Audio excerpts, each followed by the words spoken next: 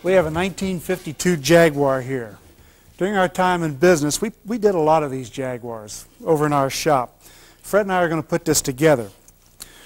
What we're doing here, or what we used to do, is take the bodies off the frame and cut them in half. You had a steel rocker here, you had a wooden floorboard and a steel tunnel and a rocker, of course, on the other side, so it was easy to cut the bodies in half. The reason we did that is because we could send the, the rear or the front to the strip tank separately and get it cleaned. That way we wouldn't have a lot of bare metal laying around. There's an identical Jaguar rear end up there. Now our next step is to get some alignment and we start by getting the alignment on the front door. We want to get this door opening looking right. We do this by putting these shims in here between the hinge and the door. After we get enough clearance, we'll check it here on the outside, make sure we got a nice opening all the way down. This tape is on here to keep us from damaging the body, even though this is only a base color.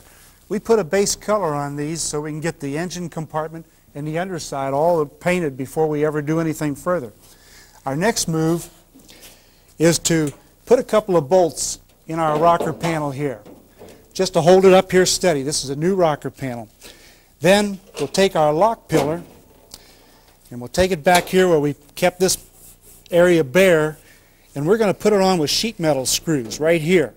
That way we can move it around if we have to. We'll close the door and we'll try to get a good opening up and down here by shifting the body forward or backwards. Once we have it all shifted, then we'll take and lock it down, MIG the whole thing together, and then we'll be ready to remove the doors, metal finish the doors, and get them painted also. We should have a real pretty automobile when this is finished.